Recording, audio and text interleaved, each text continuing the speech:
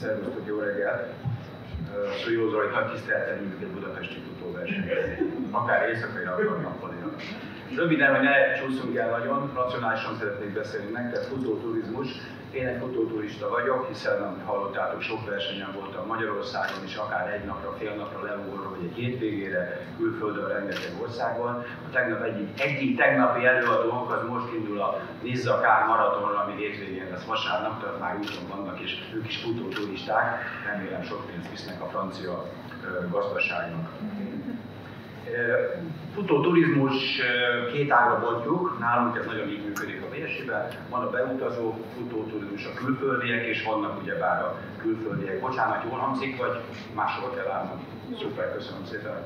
Uh, beutazó futóturizmusról nagyon sok mindent tudok mondani, tudnék róla beszélni, beszéltem már valahol egy-két óra hosszá. Uh, igazából Magyarországon mintegy ezer futóverseny van, ezer futóverseny van, uh, és három óriási van, az itt három esemény, ahol szabad szemben is látható igazi külföldi futó turisták vannak, akik jönnek, ez a három évszerű verseny. Igazából a BSI-nek is nincs, sincs több eseménye, egy-két ember, egy-két külföldi lézeg a többi versenyen, ezek viszont dugig vannak. Ez a három verseny így alakult. Mi valamikor 98-ban döntöttünk úgy, hogy olyan erős a termékünk, a szolgáltatásunk, a Budapest Maraton és Félmaraton, hogy elkezdünk külföldieket hívni. Azóta van egy kollégánk, akinek csak az a dolga, hogy a külföldieket gardírozza, promotálja, reklámozza, szerződéseket kössön, együttműködéseket, és learassa a sikert. Ez a három esemény így fejlődött összlétszámmal, de eljutottunk a 2000 belül 20 ezeres létszámról ugye 70 valány ezerre, alatta pedig a futó turisták, ami jól látszik, hogy több mint 10 szereződött, 24.500 volt 18-ban, 19-ben körülbelül ugyan, ugyan ennyi. Volt egy nagy ugrás valamikor, hiszen a Vivicitát az csak 2012 körül tettük be a nemzetközi körforgásba, addig nem is beszéltünk róla, mert addig csak 12 km volt a leghosszabb táv, és köszönjük szépen, én sem megyek ki a világba sehol 12 km-es futóversenyre, csak a maratonra és a félmaratonra utaznak a külföldiek és a magyarok is alapvetően. És amikor lett félmaratoni táv, Bilicsétán, ami óriási döntés volt, hiszen több mint 8000 ember indul a félmaratoni távon, úgyhogy megmaradt az őszinek a nagysága, azóta betettük, és oda is közölnek a külföldiek erre a versenyre. Mi mindig foglalkoztunk azzal, hogy hogy lehetne mérni a hatását. A világon mindenhol az economic impactot mondogatták nekünk. Mi is elkezdtük számolni, hogy milyen hatása van ennek, Szétnéztünk a magyar turizmusba, és nem találtunk ilyen tanulmányokat, nem tudott senki segíteni, hogy józan paraszti közgazdász észre csináltunk egy szoftvert, hogy hogyan mérjük, hogy mit költenek a külföldiek, nálunk milyen gazdasági hatása van. Aztán megerősödtünk, és 16-ban rászántunk magunkat, és 5 kemény millió magyar forintot kifizettünk a KPMG-nek arra, hogy tegye rá a pecsétjét, amit számainkra, vagy döntse el, hogy nagyon rosszul számolunk, külföldi turistákkal, vagy jól számolunk, és akkor ők csináltak egy tanulmányt nekünk, ki a futóturista, a résztvevők és a kísérők száma. Jó kitoltak velünk, mert azt mondták, hogy mi is levontuk azokat a külföldieket a létszámot, akik itt laknak Magyarországon, de azt mondták, akik nem elsődleges célból a futóversenyre jönnek, nem azt jelölik meg a kérdőíveken, azokat is le kell vonni, úgyhogy ilyen 7-8 százalékot levontak a mi számainkból. Tehát aki azt mondta, hogy jöttem egy konferenciára, vagy jöttem a nagymamát meglátogatni, és közben futok egy maratont, azokat is levonták belőle. A kísérőket kérdőív alapján kérdeztük mi is ők is, hogy vajon mennyi kísérő jön egy futóval, hiszen a futók számát tudjuk, mert megveszik a rajtszámot, de hogy mennyi jön velük. Uh, itt ugye egy számsor, a turizmusban a legfontosabb szám, hogy hányan jönnek, és mennyi vendégészakát töltenek el. Legkisebb panzióban is ez a fontos, úgyhogy itt látjátok azt a számsort 2007-től, ugye 16-tól ez már egy KPMG által auditált számok is, hogy bizony ez a 20, 18-ban ez a majd 25 ezer külföldi, ez 80 ezer vendégészakát töltött el Budapesten. Ez körülbelül majdnem 1 százalék, a fél százalék és 1 százalék között van budapesti összvendég éjszakáknak. Ez a három egyszerű futóverseny csak úgy zavarja a város életét, ugye idézőjelben. Hát ennyit hoz. Másik oldalon a költés számoltuk ki, a KPMG 3 milliárdnál tartott, és örömmel mondom, hogy 19-ben meghaladtuk a 4 milliárd forintot. Tudni kell ugye, hogy mekkora a magyar gazdaság, 4 milliárd forint óriási, hihetetlen szám. Ennyit költöttek Budapesten a külföldi turisták. A KPMG tanulmány egy érdekesség, ugye, ami szintén a turizmust jellemzi, akinek bármilyen turisztikai érdekeltsége van, az tudja, hogy ezek fontos számok, hányan jöttek, mennyit költöttek. Tök érdekes, minden évben a maratonon legalább 20-30 százalékkal többet költenek az emberek, pedig ugye három óra hosszával többet futnak a versenyen, amikor nem tudnak kávézni, meg múzeumba menni, mégis ott költenek sokkal többet összes költés ugye versenyenként is megvan. Egy érdekes kérdés volt, hogy először jártak Budapesten. Körülbelül 50 százalék először volt. Igazából mi azt mondjuk, hogy a futó turisták azok célturisták, döntő részben azért jönnek. Ha nincs Budapest maraton októberben, akkor nem biztos, hogy ide jön, mert futni, futni szeretne, akkor megy a másik városba.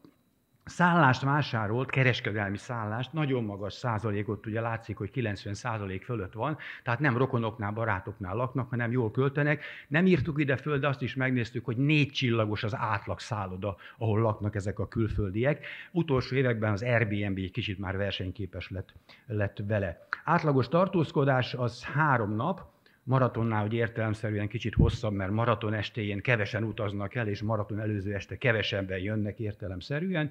E, ennyit töltenek itt, és ebből jön ki ugye a vendégészakák száma. Ami még érdekes a külföldi futóturistáknál, hogy mi a visszatérési hajlandóság. Ezt addig nem kérdeztük, de a KPMG mondta, hogy ezt meg kell kérdezni.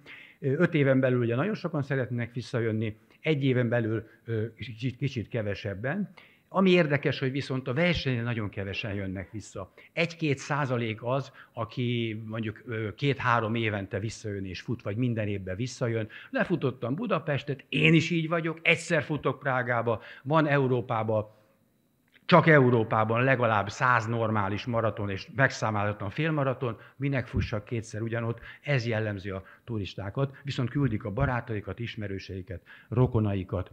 Az elégedettséget megkérdeztük, ez nem a futóverseny elégedettsége, hanem hogy budapesti tartózkodás elégedettsége. Mit gondoltok, mely szolgáltatás szokta lehúzni tisztességesen a külföldi turisták budapesti tartózkodását? Elárulom, a taxisok állandóan panaszkodnak. Akikkel jobb viszonyban vagyok, azok mindig mondják, vagy akikkel megismerkedünk, hogy a taxisok. Hát, reméljük majd egyszer megváltozik. Ugye ez azért volt nekünk nagyon jó a turizmus a, már a KPMG előtt is, hiszen PR tevékenységbe beépítettük, és tematizáltuk a gazdasági sajtót. Minden évben elmondtuk, dübörög, tovább dübörög, válságálló 2012-ben, stb. stb. És amikor a KPG tanulmány pecsétet rátettük, akkor még a, akkor a turisztikáért felelős miniszter Varga Mihály úr is, aki egyébként maratont futott Budapesten, fölfigyelt ránk, és, és közös sajtótájékoztatót tartottunk erről, és gyakorlatilag oda jutottunk a magyar médiába, hogy ha egy turisztikai újságírónak nincs témája, akkor fölhív, hogy a futóturizmusról beszéljünk. Szoktam mondani áprilisban, hogy várjuk már meg az idei számokat, de nem beszéljünk a tavalyiról. Tehát ez egy ilyen kellemes téma lett. Népszabadság cikket emeltem ki a sok száz cikkből és internetes megjelenésből.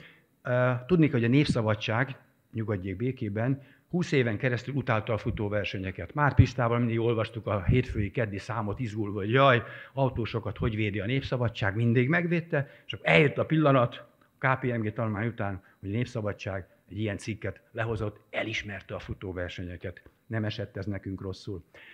Belföldi, másik ág ugye a belföldi futóturizmus, mindent föltettem róla, amit tudok, itt látjátok. Egyébként csak annyit, a ilyen KPMG hasonló tanulmány nem nagyon van a magyar turizmusban, tehát nincs olyan projekt, nem jutott el hozzám. Nagyon sok embert kérdeztem, MTÜ-be, elődjébe, MTZRT-be, nem nagyon készültek ilyen nagyon komoly hatástanulmányok.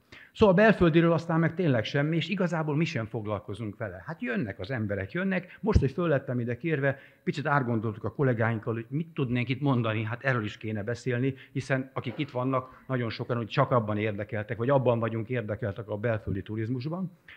A Spármaraton, bla bla bla, hogy, hogy ne húzzam az időt. Ami érdekes, a két legnagyobb magyarországi szabadidő sporteszmény, ugye 30 ezer körüli létszámmal megyünk évek óta, több mint ezer településről jönnek. Több mint ezer magyarországi településről jönnek fel Budapestre. Elképesztő szám. Kiszámoltuk, hogy mennyi a magyar felnőtt nevező, ott látjátok, hogy 20-24 ezer, és akkor levettük belőle a Budapestet és a Pest megyeiket, mert ugye mi biztos, hogy nem fogunk Szújózoli a budapesti versenyen nem fog szállodába lakni, csak a Szegedin esetleg, ha nem megy haza, és akkor nem olyan magas szám, de ott van 6-6 ezer ember, aki följön Budapestre messziről, lehet, hogy a maraton előtt még akar esetleg ott is alszik valahol, de hogy eszik, iszik, tankol, autópályamaticát vesz, sok mindent csinál, az egészen biztos. De hogy mit, azt nem tudjuk. Megnéztünk két, kis, két kisebb versenyénket is, mert ugye nem csak 30 ezres van. Egyik a Kékes csúcsfutás, ami egy fantasztikus turisztikai célpont a Mátrában. Ugyanezekkel a számokkal, ha végig megyünk, nem heves megyeiek, itt most lehet vitatkozni, meg gondolkozni, hogy kit vegyünk bele, ki, ki lakik közel a Kékeshez, Mátrafüredhez. Van 2000 ember, aki oda jön. Az biztos, hogy egy, közülük elég sokan mondják, hogy szállodákban laknak, van ott egy szállodai igazgató ismerős, ő is mondta, hogy egész szépen telik az töltöttség a futóktól, de hogy kolbász nem lehet venni a Mátrafüredi soron, meg a Mátraházi soron a verseny napján, az egészen biztos. Ugyanezt megnéztük a Tour de Tiszató, ugye oda viszünk ugye majd 2000 embert minden, már tizenvalahány éve. Utolsó száma elnézést kérek, az ott egyes az eleje, tehát mint egy, több mint ezer ember van ott, aki nem a környező megyékből van és nem ér haza 20 perc alatt vagy egy fél óra alatt, hanem messzebbről jön, és ők ott vannak. És valamit költenek, és ők turisták, úgyhogy ha lehet javaslatom, Máriusz, Gergő, akkor szerintem valamikor foglalkozunk egy olyannal, hogy a hazai szabadidősport eseményeknek milyen turisztikai hatása van, mi jellemzi. Balaton átúszás, 10 ezer ember, meg a kísérők, 12-15 ezer ember, gondolom ebből van néhány száz, aki balatoni, vajon mi jellemzi őket. Úgyhogy én javaslom, hogy ezt most őszintén a BSI nem szeretné megfinanszírozni az újabb 5 millió forintot, nem is tudja a Covid időszakban, de hogyha van mód, akkor is az érdekes és az információt ad a turisztikai szakmának, szektornak, akkor javasoljuk, hogy ilyet valaki finanszírozzon meg. Közösen találjuk ki a kérdéseket, a metódust, és csináljuk meg.